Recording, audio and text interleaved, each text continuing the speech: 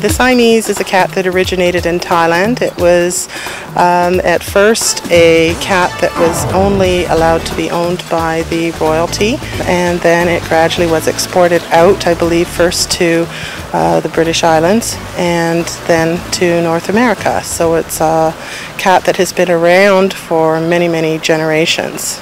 I tell people that if they want to have a Siamese cat, then they should not be looking for a quiet cat. It's a cat that's very active, very vocal, um, enjoys being around people, and it does do very well as a lap cat as well. It can be very protective of the owners.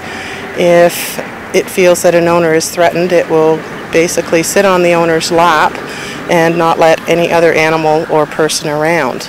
They can tend to be a one-person cat, but will integrate well within the whole family, pretty much. They'll, they'll be protective in a whole family cat. Because they're so active, I tend to like to see them with another cat in the house or a dog in the house because when they get too bored, they will go for your shears or um, you know, try to knock things off just for looking for playtime. They do tend to like company with them, but it doesn't have to necessarily be a, another person.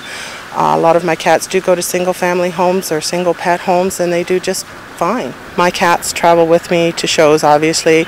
We also, between home and our cottage, have a three and a half hour drive. Uh, usually no less than four or five go with us.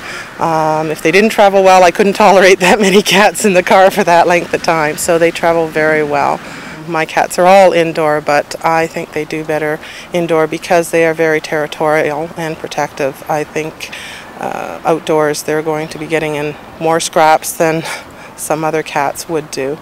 These are one of the longest lived breeds. They live an average of 15 to 20 years. Um, I've had cats in my household. I have one now that is 19 years of age.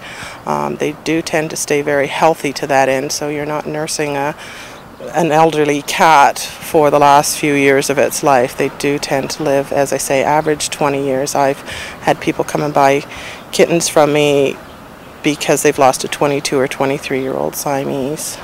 They also do very well with other animals as far as dogs. We had a dog for 12 years and we've been breeding for 18 years and um, they don't seem to have any fear of any other animals. Um, so I think they do very well with just about anything, human or animal.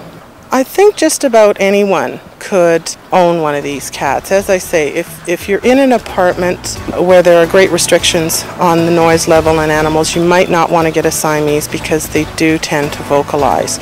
And so it may upset a neighbor. Basically, I think they would go very well just about with anyone.